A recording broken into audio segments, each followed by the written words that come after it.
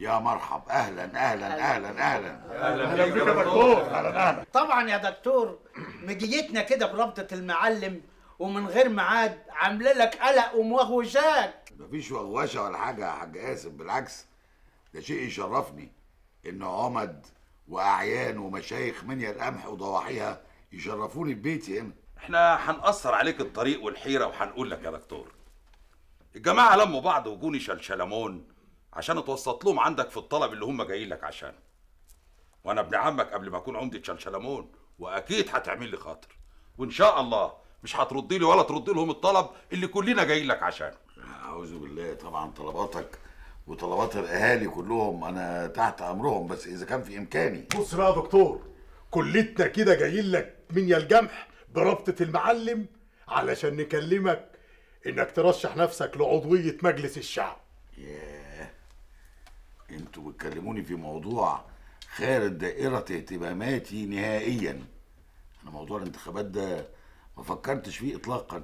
وبعدين أنا أصلا ما عنديش آه، أي طموح سياسي. ما تحاولش يا دكتور. هتجيلنا كده. هتروح كده؟ مفيش فايدة. إيوه طبعا. ما هو ما يصحش نلم بعضينا ونجيلك لحد بيتك وترفض لنا أي طلب مهما يكون. وبعدين يا دكتور ده مش طلب الحزب لوحده. لا! دي طلب أهل الدايره كلتهم الصغير قبل الكبير فيهم. يا جماعة أنتوا عارفين إن طلباتكم وطلبات أهل الدايرة أوامر بالنسبة لي. بس الحقيقة إن موضوع الانتخابات وعضوية مجلس الشعب دي مسألة عايزة حد متفرغ عشان يدافع عن أهالي الدايرة ومصالحهم. شوف يا دكتور متفرغ ولا مش متفرغ الكلام دي إحنا ما نعرفوش. ما فيش حد في البلد كلتي يعمل الكلام دي بأمانة وإخلاص. غيرك انت. يا حاج قاسم أنا أشكرك وأشكر الجميع على الثقة الغالية دي.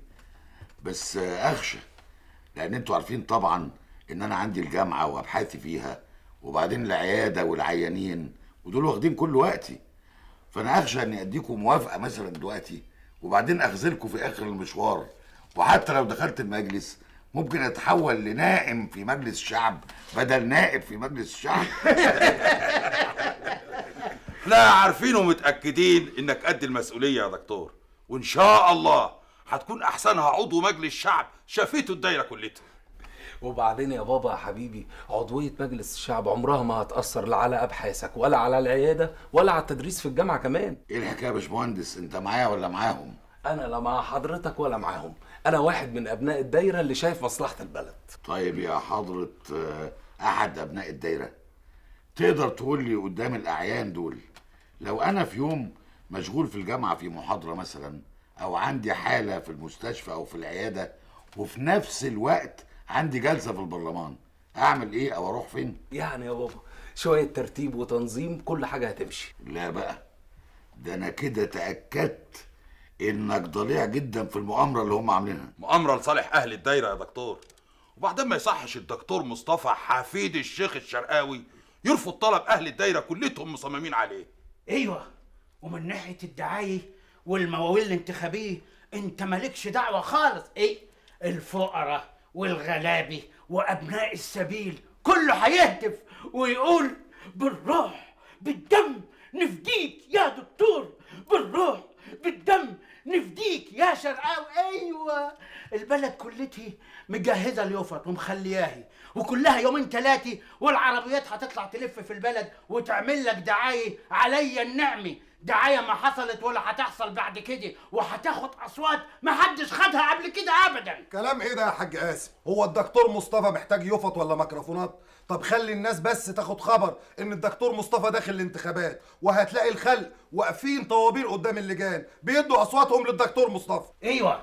واني بالنسبة للملامس والعزب والكفور اللي حواليه كل الناس هتدي أصواتها للدكتور مصطفى. حتى اللي ما كانش بيدي صوته قبل كده هيجي ويسيب شغله ويدي صوته للدكتور مصطفى.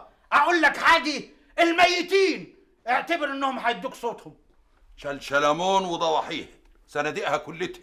ما فيش صوت هيتحط فيها غير للدكتور مصطفى. والعزيزية أنت عارف أصواتها. إن شاء الله مضمونة كلها ليه؟ وأهل منيا القمح شباب وعمال وموظفين وتجار كلهم هيدوك أصواتهم يا دكتور مصطفى. وعلى فكرة يا دكتور مصطفى أنا جاي مع الجماعة بحكم منصبي كأمين عام الحزب في منيا الجمح. وببلغك نيابة عن الحزب إن الحزب يشرفوا انضمامك ليه ودخولك الانتخابات تحت رأيته. وطبعا أنت عارف في الحالة دي إن الحزب هيدعمك الدعم الكامل. أنا طبعا آه، أمام هذا الإجماع لا أملك إلا إني أستأذنكم تدوني فرصة للتفكر في الأمر بس. علشان أنا أخشى إن أنا ما أكونش قد الثقة الغالية اللي أنتوا حاطينها فيا عشان أدخل مجلس الشعب نيابة عن الدايرة. كل اللي بطلبه أسبوع واحد. زي النهاردة أديكوا رد.